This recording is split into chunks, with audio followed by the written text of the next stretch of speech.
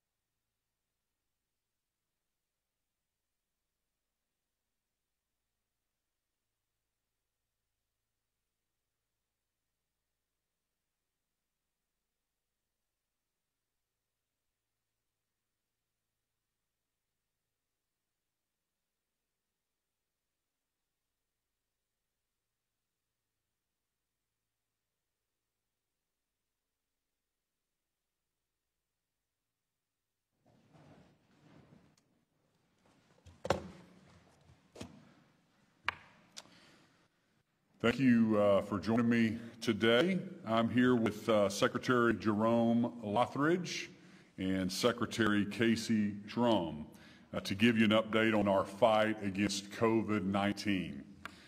You know, first off, our curve is flattening in Oklahoma, and I am so proud of the job that Oklahomans are doing. We are making tremendous progress, but like I've said before, now is not the time to take our foot off the gas. If you remember, I said earlier this month, what we do together over the next three weeks will greatly determine our outcome of what we can do after April 30th. That's still so true today. We need to continue with social distancing and washing our hands frequently and limiting our trips to the grocery store and the pharmacy. So because we are flattening the curve, we are working on plans to reopen our state. But let me be clear, we're not out of the woods yet. We have to continue to be responsible about our trips to the grocery store and the pharmacy by only sending one person and make sure we practice physical distancing while we're there. We've talked about how the models get better over time, like the hurricane models get better as they get closer to shore. Our models in Oklahoma are continuing to be revised and get better with more testing. We have over 80 test sites available all across the state. And let me be clear, we want everyone that has COVID-like symptoms of a fever of 100.4, shortness of breath, to get tested. You can call 211 or go to coronavirus.health www.ok.gov to find a location near you. I wanted to show the initial IHME model. Uh, this came out in late March, and it's probably up on your screen right now. It's the one the White House referenced, and it showed a peak of approximately 5,000 hospital beds uh, needed in the state of Oklahoma. On April 1st, we continued with uh, my safer at home order for the vulnerable population, as well as we extended our non-essential business uh, ban all the way through all 77 counties. You'll see the graph on April 1st came down to a little bit uh, around 3,000 beds uh, needed in the state of Oklahoma. And, and then that last version on April 8th uh, is the version we showed you last week when we announced our hospital surge plans. That version projected our peak hospital demand uh, on April 23rd at 1,115 hospital beds needed. We currently have four times the available beds in the state of Oklahoma. The latest graph uh, pushes our peak back to April 30th and also continued to flatten and showed a max bed of 815 uh, needed in the state of Oklahoma. Even under the model's worst case scenarios, Oklahomans, we are in fantastic shape on hospital beds. This graph also shows our total hospitalizations. Uh, these are people in the hospital in the ICU is the very bottom uh, piece of that graph. Those are the actual numbers uh, today. We have about 420 or so in the hospital across the state of Oklahoma. That number, the significance of that number, it stayed flat for the last 17 days. Our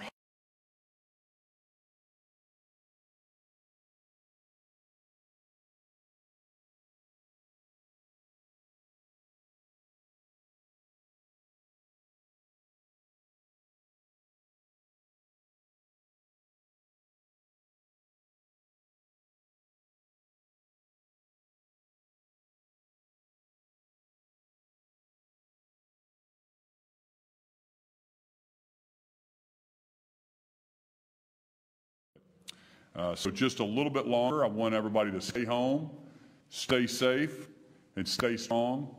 God bless you. God bless the great state of Oklahoma. Governor, I'm sorry. I was just going to ask um, what you would say to those that were driving around the Capitol today, frustrated because they're they're ready to go back to work. What would you say to them um, that are, they're feeling that way? Yes, so I, I know that Oklahomans are frustrated, ready to get uh, life back to normal. Um, That's, you know, our plan is to do it safely. Uh, My orders, the executive orders are through April 30th. We extended the Safer at Home for the vulnerable population through May 6th. Uh, But we are, we're working on plans to open up. We'll have more things in the future. We're going to do it safely. I've met with the Restaurant Association.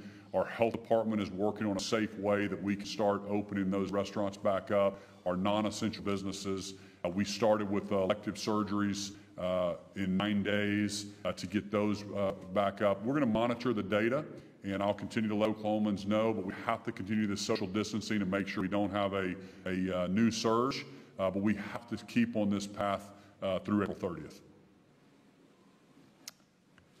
Governor, this weekend you talked a little bit about antibody testing, and you believed that uh, our state, one of the leading states in that testing. We know there's some Norman, Norman firefighters that are doing some testing as well. Can you tell us what this means for some of our frontline workers, or what it could potentially mean for them? Sure, let me uh, have Dr. Shrum come up, and- and she's the expert on the antibody testing. Yes, so, so we have been working very closely uh, with lab um, in, in uh, Norman to develop antibody testing right here in the state. Um, What that tells a person who uh, takes that test is whether or not you have been exposed to the virus and developed an, an antibody or had an immune response to it. Um, It does not um, confer immunity, um, but it does, it does decrease the risk um, and understanding that you have been exposed and that you, you have had an immune response. I think that informs, we can use that in surveillance, and that informs us about what's going on in the population. Also, our frontline workers knowing whether they've been exposed at this point and developed some uh, form of immune spo- response is important. Could it mean that those frontline workers who may have that immunity could be the ones who are dealing with these COVID patients, if that's the case? Well, we don't know how long, if you develop immunity, how long your immunity would last. So this is very early. I think it's good for, for us to know who has been exposed, who's been asymptomatic but had the virus. Uh, but it, it does not designate people who are completely safe from the virus at this point in time. So we are going to be rolling out more of what we're doing uh, and using that as a way to understand how the virus is moving in various populations. Uh, and you'll hear more about that soon. Uh, Governor, just your reaction to the letter from the House Democrats wanting you to uh, call grocery store workers and people in that area first responders.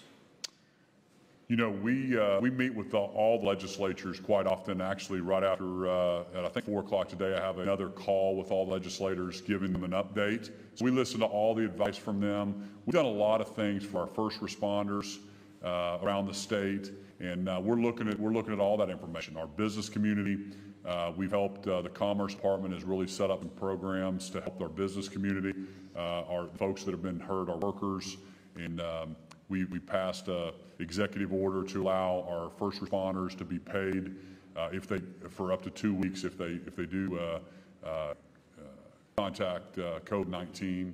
Um, so we're, we're looking at all those things to help those first responders. We haven't specifically addressed uh, the grocery store workers. Governor, um, I think there was a potential breakfast this morning between you and the uh, Pro Tem of the Senate and the Speaker of the House. Obviously, uh, you know, you probably can't talk a lot about how that went, but uh, there was a lawsuit filed yesterday uh, regarding the equalization matter. Can you give us an update? Was it a good breakfast? Did you guys share some laughs? Did you find any common ground?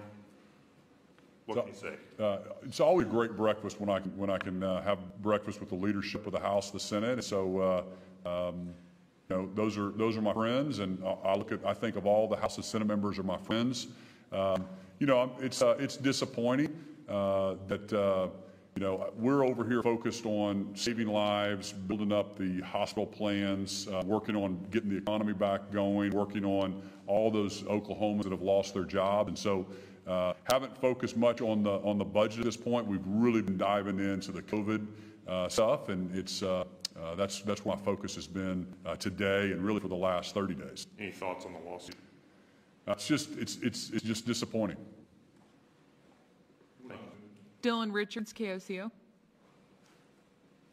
thanks, Governor. I just had a question about your safer at home order. Is the only thing you're extending the is safer at home for people over 65 and immunocompromised, or does that include business closures as well as uh, gatherings of 10 or more? And if not, why So every, every executive order uh, is expiring on April 30th. The only one that we've extended at this point is the Safer at Home through May 6th for the most vulnerable population, um, the immune compromised. The, uh, the others, we're going to be looking at those over the next two weeks find out how we can safely reopen. Um, we're also looking at the CDC guidelines. Uh, President Trump will be issuing some more guidance. Uh, I'm on the phone constantly with uh, governors around our region on what they're doing, how they're going to safely reopen uh, their states back up. Uh, but at this point, the only one that we've extended was the Safer at Home for the vulnerable population uh, through May 6th. And the others that we're taking those day by day, I actually moved back uh, the elective surgeries from April 30th. That's going to be moved back to uh, April 24th. Steele, Oklahoma.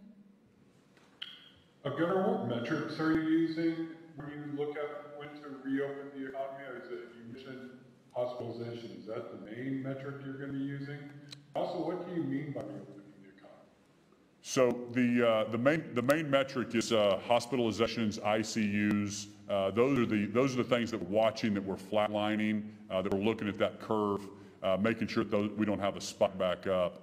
so yes, those are the main one, ones we're looking at. Um, and when we say opening back up the economy, we're talking about non-essential businesses that have closed down. So you're talking about restaurants, um, you know, barber shops, um, you know, eventually museums, eventually all those uh, social gathering businesses. Um, so the, the first one was the elective surgeries. The plans are being worked on. How do we safely do that? We've got the health department working on those. Do we need to test all of the uh, uh, workers at a restaurant? Uh, do they mask up? Uh, do we spread the tables apart, six feet apart? All those things we're working on to, to uh, slowly step back in uh, to more of a normal, um, normal business life. Butler, KTUL. Hi, Governor. Uh, so right now, there's, you know, I'm sure a lot of people, people around the Capitol, happy to see that you're talking about reopening the economy. On the flip side, you've got a fair number of people out there that might say this is premature and we're just, you know, kind of tempting fate away, kind of waiting to see if this will spike back up again. Uh, what would be your response to, to those people? Well, we're doing this uh, with, uh, with the guidance of the experts at our health department. We're also uh, being data driven. From the very beginning, I said we're going to be basing decisions in Oklahoma based on what's happening in Oklahoma, the data that we're seeing, uh, not what's happening in, in a different state or a different city or what the news might be saying. And over the last 17 days, our hospitalization has been continuing on a, uh, a slow decline, which is a great thing. Uh, but I also want Oklahomans to know we've got to continue social distancing. We've got to continue the, uh, the policies that we have in place through April 30th. We're going to monitor this data day and night to make sure that nothing spikes and no trends go the different direction. Uh, because that would be the last thing we would want is to slowly start opening things back up uh, post April 30th and, uh, and, and we see some kind of different, uh, some kind of spike. So it's still important uh, that we continue everything. We're also, uh, we can't really get out in front of the CDC or what, uh, what the uh, White House is recommending. So we're going to continue to wait and get some guidance from them as well over the next couple weeks. Governor, can I just ask you about hospitalizations? You said, quote, over the last 17 days, our hospitalizations have, have been continuing on a slow decline, which is a great thing. Are you referring to people leaving the hospital? Because the cumulative numbers continue to go up. If we just go back to April 10th, we've got an increase of 18, an increase of 17, an increase of 4, an increase of 31, and then uh, most recently today, that would be, I'm bad at math, 22 new folks coming in. Are there people leaving the hospital, and that's what you're referring to? Because it looks like we're still getting, you know, a couple dozen, a dozen to a couple dozen people a day entering the hospital with COVID. We look at the net number in the hospital, both ICU and the, the net numbers of hospitalizations across the state. So, of course, you've got people coming in and you've got people exiting the hospital. That overall number in the hospitals is what we track on a daily basis from all across the state.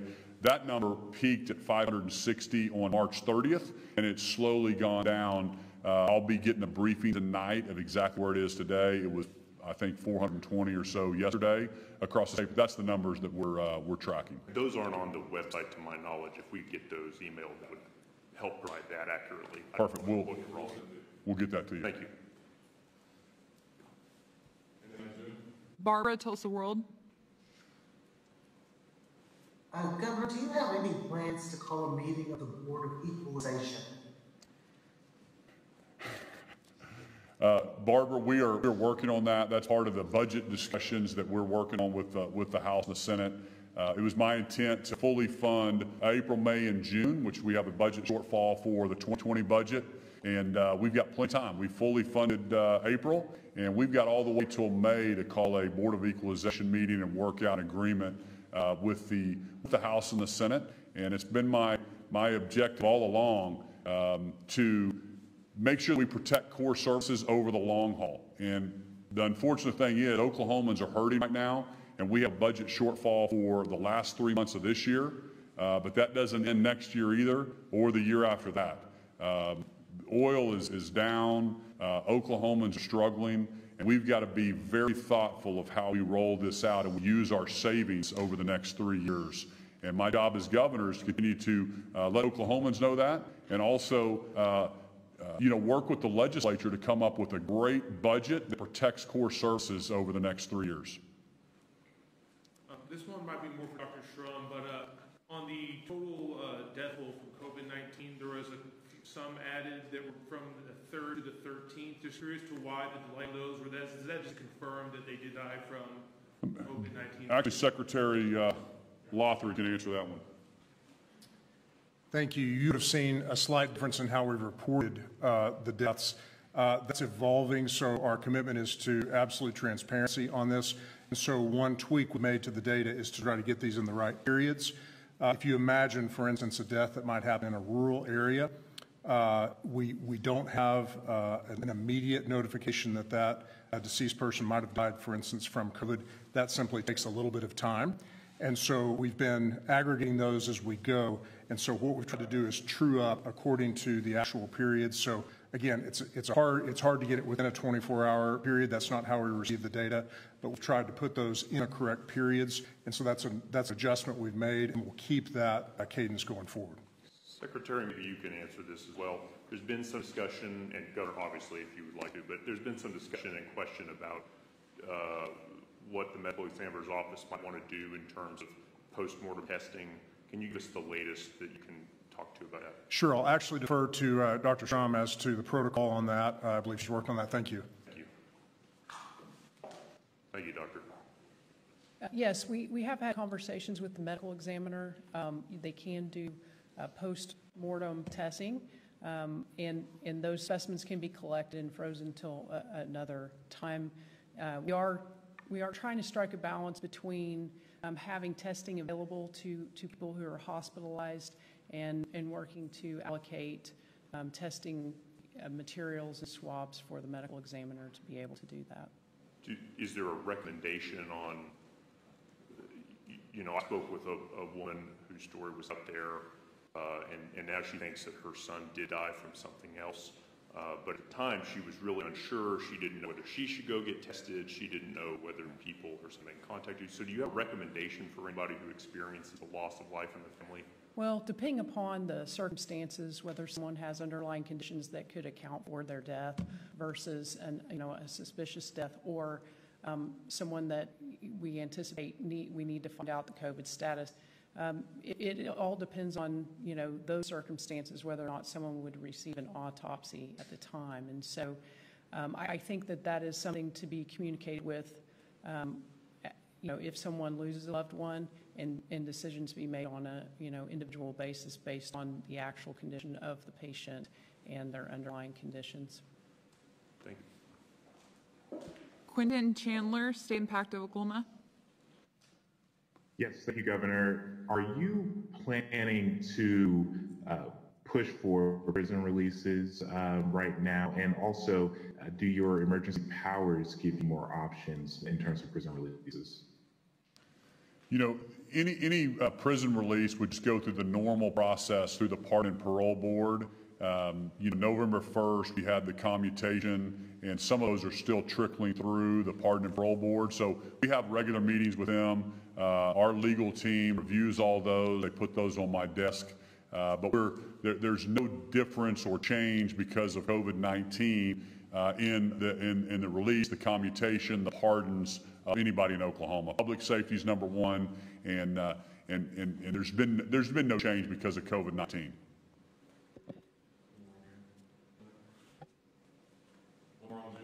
Ken Miller.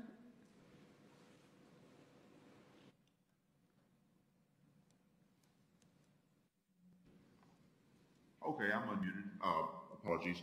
Thank you, Governor. Uh, some in the medical field, uh, health uh, officials are indicating concerns of a second wave of this virus starting this fall and winter. Uh, what what sort of preparations? Thinking uh, obviously months and months ahead here. But how concerned are you of a second wave of this virus later this year, and, and, what sort of preparations have you considered? Well, that's always, uh, the second wave is always a possibility. You look at other outbreaks that have happened over the history, and, and sometimes they come back stronger in the, in the fall. And so that's something that we're obviously concerned about, and we're going to monitor. Uh, we're going to keep these plans in place. Uh, the hospital, uh, right now, my, my focus is continuing to see that curve flatten, continuing to remind Oklahomans what we can do to social distance, wash our hands, staying safe, um, so we'll monitor that, and uh, that's a long ways away. And as, as you notice from the curve, uh, uh, you know, that we were planning on in, in March, it obviously was flattened, and, um, and that's a great thing. And so we will continue to monitor that as we get uh, through the summer and, uh, and into the fall. Thank you.